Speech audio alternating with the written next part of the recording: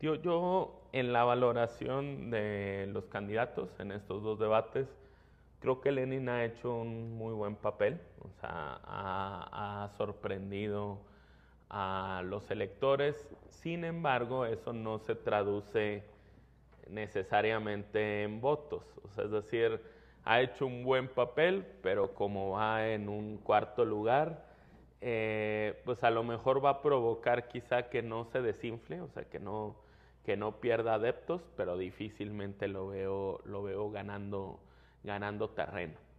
Eh, creo que Manolo Jiménez está sabiendo administrar el proceso, se ha concentrado en los dos debates en exponer eh, sus propuestas.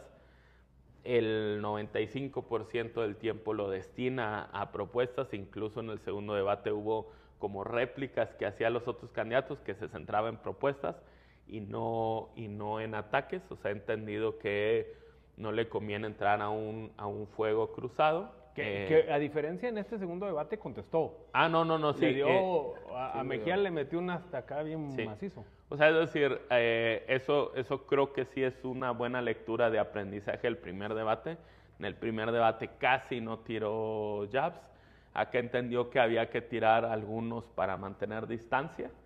Eh, Mejía pues está tratando de hacer su trabajo, aunque creo que, como ustedes dicen, se pierde en los ataques.